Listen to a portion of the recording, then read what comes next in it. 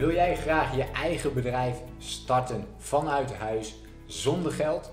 Dan ga ik je in deze video mededelen hoe je dat kunt doen. Het kan natuurlijk op twee manieren gedaan worden. Enerzijds door je eigen praktijk in huis te hebben en anderzijds door iets online op te bouwen. En in deze video ga ik het vooral met je hebben over dit tweede gedeelte en hoe je dat het beste kunt doen. Want eigenlijk hoeft het niet zoveel geld te kosten om je eigen bedrijf te starten. Je moet gewoon ergens mee beginnen en dat hoeft niet uh, altijd met geld te zijn. En ik denk dat als je het online wil doen, dat dit de allerbeste manier is om dit aan te pakken.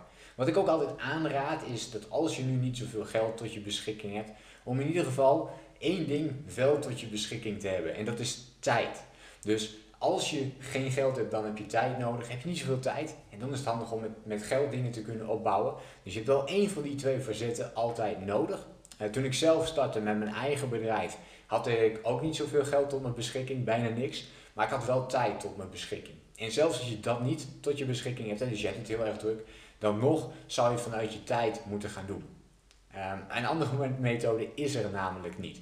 Dus pak die avonduren als je iets in loondienst doet. Uh, pak die avonduren, ook al is het maar een uurtje uh, per dag of een half uurtje per dag. Uh, dat kan je al heel erg gaan helpen. Pak ook de weekenden zoveel mogelijk tijd om juist je eigen bedrijf dan van de grond te krijgen.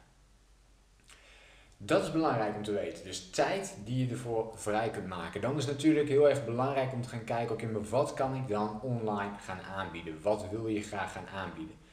Um, als allereerste zou ik altijd willen aanraden om dus heel goed te kijken, wat wil je zelf? En wat is jouw passie? Wat is jouw interessegebied? En eigenlijk is op elk gebied waar je maar gepassioneerd over bent, daar valt altijd wel een bedrijf van te maken. Ik ken Um, bijvoorbeeld mensen die ontzettend, ook nog zelfs veel geld verdienen met uh, breien. dus gewoon uh, uh, online breiklubjes organiseren, dat soort dingen. Van, van dat breigedeelte tot ja, mensen die bijvoorbeeld, zoals ik bijvoorbeeld, een, een coachingsprogramma online heb of online cursussen verkoopt.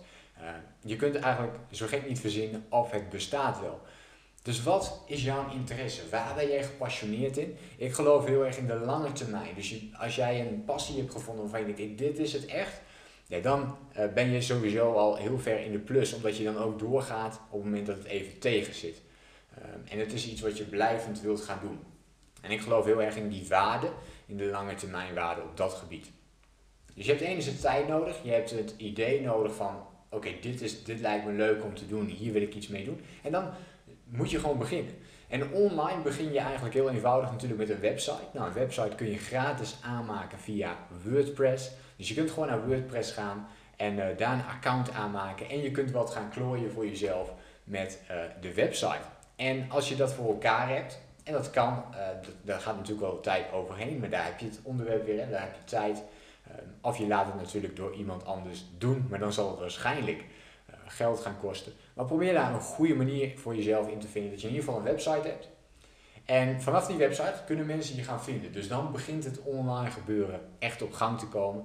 Dan zijn er verschillende dingen die je kunt gaan doen. Als allereerste is het natuurlijk goed om wat blogs te gaan schrijven, uh, wat video's te gaan maken en dat allemaal te plaatsen, zodat mensen weten, hey, er valt iets over te vinden. En vervolgens is het de bedoeling om dat structureel te blijven doen. Dus om blogs, video's en eventueel een podcast de hele tijd door te blijven uh, doen op het interessegebied van jou. Dus vraag- en antwoordsessies uh, kunnen dat zijn. Op wat voor manier dan ook. In contact komen met anderen.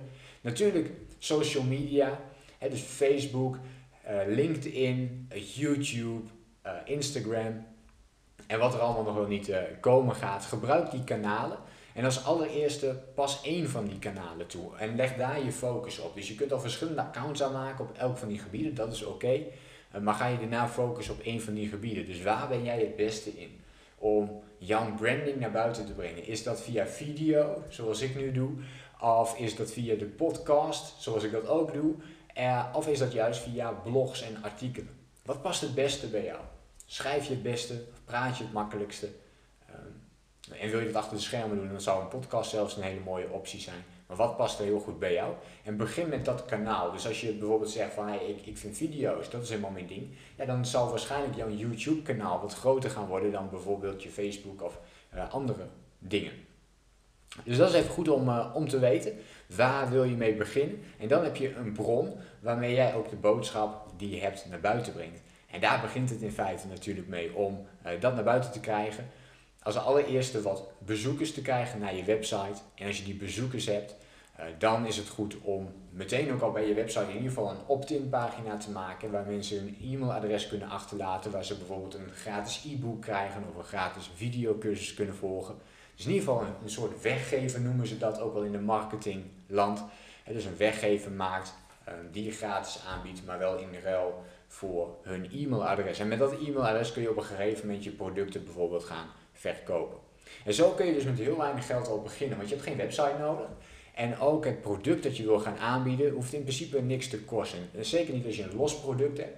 Als je een, uh, met een lidmaatschap wilt werken of een abonnementsvorm, dan heb je wel uh, wat extra kosten nodig. Maar begin je gewoon met een product verkopen, dan kun je WooCommerce gebruiken op je WordPress. Ik raad WordPress sowieso aan om te doen. Uh, daar zitten de meeste functionaliteiten op en kun je de meeste dingen mee doen.